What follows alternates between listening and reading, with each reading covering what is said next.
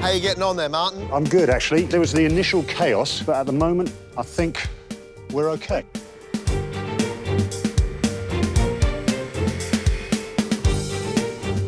Weirdly, is another guinea fowl. Roast guinea fowl, twice, root veg, crispy pancake. The crispy pancake bit's thrown me, hmm. but I'm interested. Right, come on. Showtime.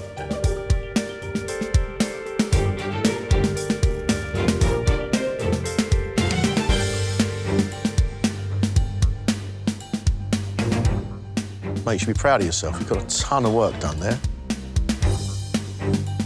The sauce, Sauce is in here. very good, Martin. Superb.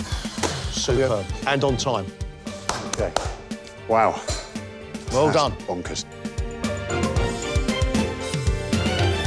Knock, knock.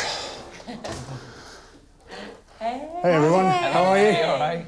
Good to see you. Good to see you. Hi. There we go. Thank you. Hopefully, you'll enjoy this. It's uh, roasted guinea fowl with uh, pureed parsnips, some spinach, Roscoff onion, pickled mushrooms, and a guinea fowl crispy pancake. Thank you very much. Martin. Well Thank done. Enjoy. Cheers. Well thanks. done, well done.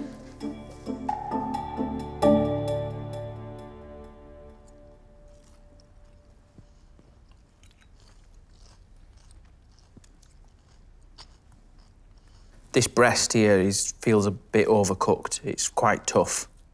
But the brown meat that he's put inside the pancake tastes delicious. What I like about this plate is that he's clearly been ambitious. Mm. I love the spinach, I love the caramelised onion. The w- mushrooms are weird, but I kind of like them. I love the parsnip puree. It's so smooth. I think in terms of all the elements, I think that's a really good effort. Love that little pancake. That's a beautiful, it's almost like a spring roll type of flavour. Everything that Martin has cooked, he's cooked really, really well. At this stage of the competition, that's very accomplished. Well done. 15 minutes, OK? 15 minutes, And then we need your crumble. Yep. Well done. Apple and rhubarb crumble with custard. Well, that's an absolute classic ofs. And I love rhubarb. Is a crumble a bit basic? Every single element of it is going to have to be absolutely perfect. You've got two minutes. Two minutes. Top man. Good looking custard, Martin. Very good looking custard.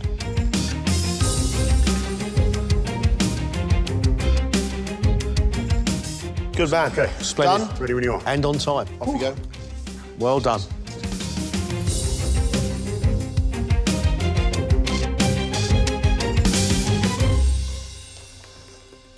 Sorry you get that view first. Lovely. Right, so apple and rhubarb crumble and creme anglaise. Thank you very much. Thank you, Martin. Martin. Cheers. Thank you. Don't knock your head on the way out. I'm really looking forward to eating this. I think it looks good. I love the way you served it. That crumble looks awesome. Yeah, this, I'm excited for this.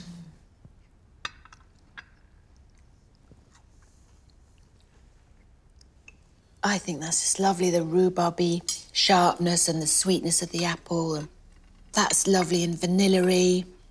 It's banging. it's delicious and like really enjoyable and really warming and comforting. I think he's done great. He should be probably grow an inch taller today, even. Lovely custard, nice and sweet. Crumbly top, sharp rhubarb, a bit of sour apple. It's good.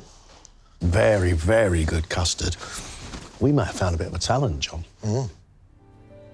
Oh, my God. That is the best I've done. Got it out on time, everything there, everything I wanted to, didn't have to miss anything.